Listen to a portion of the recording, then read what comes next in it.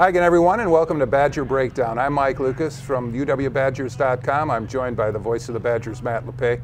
Why is it, Matt, in this series between Minnesota and Wisconsin, that quite often you see the best and the worst of a team in the same game? It, it's that old line, expect the unexpected. I mean, you think back of the craziness in this game, even last year, where Wisconsin seemingly is in control, seemingly about to put the game away, and then there's a fumble that turns into a scoop and score for Minnesota, then all of a sudden it becomes a dogfight late. Uh, whatever you think is logical, you tend to throw it out the window in this series because it, it's one of the oldest lines that you've ever heard about the, you know, forget the records, but I think it really does apply in this series. Both the Gophers and the Badgers are approaching this game from the same direction, coming off losses in their Big Ten opener but the motivation is a little bit different for each school. I, have to think for Minnesota, this is about season, saving the season. You know, the Gophers lost four straight at home. Uh, you know, at times played pretty well in those games, but in certain games did just enough to lose. And look, if you're Minnesota, if you're a senior, you don't know what it's like to parade the trophy. It's been six years. Uh, Wisconsin has won the last six games of this series. Uh, much has been made of Minnesota's empty trophy case, so I'm sure for those guys that's a motivator. For Wisconsin, clearly, Mike, it's about keeping it here, making it a seven straight year where they keep the axe and, and trying to get themselves back into the mix. You know, we talked about last week, if you lose, maybe that's a mulligan.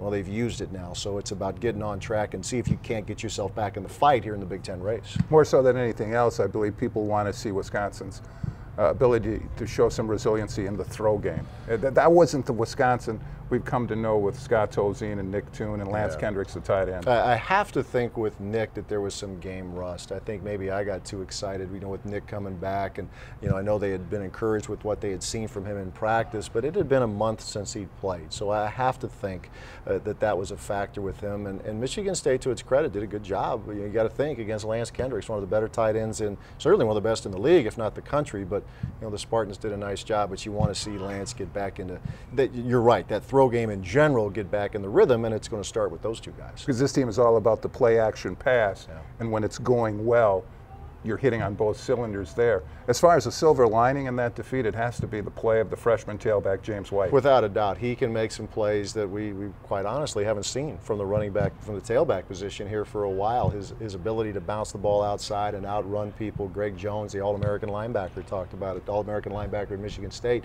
about White's speed, his ability to get to the edge and, and outrun people. And clearly he did that on the two touchdown runs. Did it a time or two uh, in other running situations as well it, it, I would think it makes John Clay's job easier. You know, they can pound away with John inside and know that you have James White you can turn to. You're right, that is a silver lining. In order for those games, those upcoming games against Ohio State and Iowa to be truly meaningful, the Badgers have to take care of business against the Gophers. And if they do that, then you're right, it, it sets the stage. You know, I think everybody, I think fans, and understandably so, have looked forward to the night game the following week against Ohio State. Now, if the Badgers can keep the axe, then you're right back in it. You know, uh, can Ohio State run a table? Can Michigan State run a table?